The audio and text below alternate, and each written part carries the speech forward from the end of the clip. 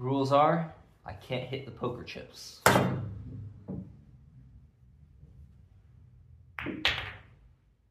That took 65 tries.